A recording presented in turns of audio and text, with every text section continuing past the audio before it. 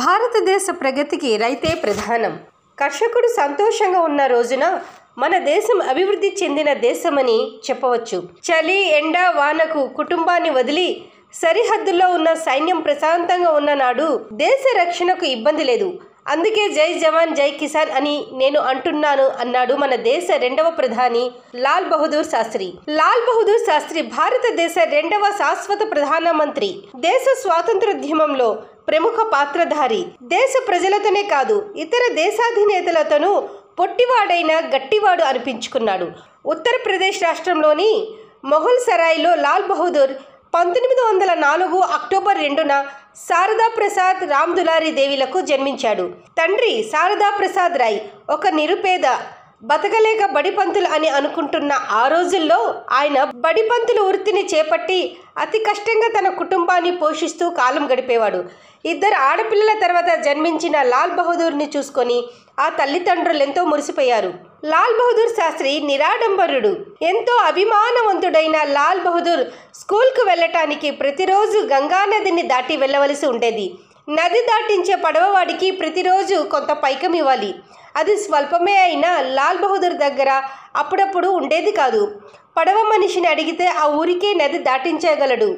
అయినా అభిమానవంతుడైన లాల్ బహదూర్ అలా ప్రాధాయపడటం ఇష్టం లేక తన బట్టలను విప్పి వాటిలో పుస్తకాలను చుట్టి మూటలా కట్టి తన వీపునకు తగిలించుకొని ప్రాణాలను సైతం తెగించి అవతలి ఒడ్డుకు ఈదుకొని వెళ్ళేవాడు. దురదృష్టవశాత్తు ఏడాదిన్నరకి లాల్ బహదూర్ తండ్రి మరణించడంతో ఆ కుటుంబం దిక్కులేని నవాల నిరాధారమైంది. ఆ కుటుంబాన్ని లాల్ బహదూర్ తాత ఆదుకొని వారికి ఆశ్రయం కలిగించాడు. పంతొమ్మిది వందల ఇరవై ఒకటిలో గాంధీ ప్రారంభించిన సహాయ నిరాకరణోద్యమంలో పాల్గొనడానికి కాశీలోని జాతీయవాద కాశీ విద్యాపీఠంలో చదవటం ప్రారంభించాడు. పంతొమ్మిది వందల ఇరవైలో శాస్త్రి అనే పట్టభద్రుడయ్యాడు. స్వతంత్రోద్యమం పోరాట కాలంలో తొమ్మిది సంవత్సరాలు జైలులోనే గడిపాడు. సత్యాగ్రహ ఉద్యమం తర్వాత పంతొమ్మిది వందల నలభై నుండి పంతొమ్మిది వందల నలభై ఆరు వరకు ఈయన జైల్లోనే ఉన్నాడు. స్వాతంత్ర్యం తర్వాత ఉత్తరప్రదేశ్ ముఖ్యమంత్రి గోవింద్ వల్లభ్ పంత్ మంత్రివర్గంలో గృహమంత్రిగా పనిచేశారు. పంతొమ్మిది వందల యాభై ఒకటిలో లోక్సభ ప్రధాన కార్యదర్శిగా నియమితులయ్యారు. ఆ తర్వాత కేంద్ర రైల్వే శాఖ మంత్రిగా పనిచేశారు. తమిళనాడులోని అరియూడూరు వద్ద జరిగిన ఘోర రైలు ప్రమాదానికి నైతిక బాధ్యత వహిస్తూ మంత్రి పదవికి రాజీనామా చేశాడు. తర్వాత కేంద్ర మంత్రివర్గంలో చేరి తొలుత రవాణా శాఖ మంత్రిగా గృహమంత్రిగా హోంశాఖ మంత్రిగా విదేశీ వ్యవహారాల మంత్రిగా పనిచేశారు.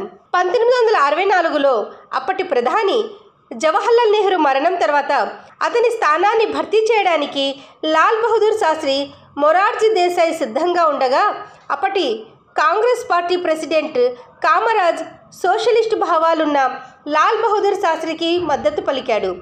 శాస్త్రి ప్రధానమంత్రి అయ్యే నాటికి దేశంలో తీవ్రమైన ఆహార సంక్షోభం నెలకొని ఉంది. ఆ సంక్షోభాన్ని తాత్కాలికంగా పరిష్కరించడానికై విదేశాల నుండి ఆహారాన్ని దిగుమతి చేశాడు. దీర్ఘకాలిక పరిష్కారానికి వ్యవసాయ విప్లవానికి బాటలు పరిచాడు. పంతొమ్మిది వందల అరవై ఐదు ఆగస్టులో పాకిస్తాన్ తన సేనలను ప్రయోగించి జమ్మూ కాశ్మీర్లోని కచ్ ప్రాంతాన్ని ఆక్రమించుకుంది. జమ్మూ కాశ్మీర్లో ప్రజలు ఉద్యమించి భారతదేశం నుంచి విడిపోతారని ఆశించింది. అటువంటి ఉద్యమం పుట్టలేదు. పాకిస్తాన్ ఆక్రమణ గురించి తెలుసుకున్న శాస్త్రి త్రివిధ దళాలకు నియంత్రణ రేఖను దాటి లాహోర్ను ఆక్రమించుకోవడానికి ఆదేశాలు ఇచ్చి ధీర పటిమను ప్రదర్శించారు. అయితే ఎన్నో కష్టాలు పడి విద్యనభ్యసించి నిరాడంబరానికి నిలువుటద్దంగా నిలిచిన లాల్ బహదూర్ శాస్త్రి రాజకీయాలలో కూడా తనకంటూ ప్రత్యేక స్థాయిలని కనబరిచారు. అయితే ప్రధానమంత్రిగా ఉండగానే అతని మరణం ఒక మిస్టరీగా మారింది. టాష్కెంట్లో ఉన్న సమయంలో శాస్త్రి గారు మరణించారు. చనిపోవడానికి కొద్దిసేపటి ముందు తన వ్యక్తిగత సహాయకుడు చేసిన వంట కాకుండా ఆయన భారత రాయబారి టిఎన్ కౌల్ వంట మనిషి జాన్ మహమ్మద్ చేసిన వంట తిన్నారు. ఆ తర్వాత ఆయన శరీరం నీలంగా మారడం సహజ మరణమేనని ఓ పత్రంపై సంతకం చేయమన్న వ్యక్తిగత సహాయకులు నిరాకరించారు.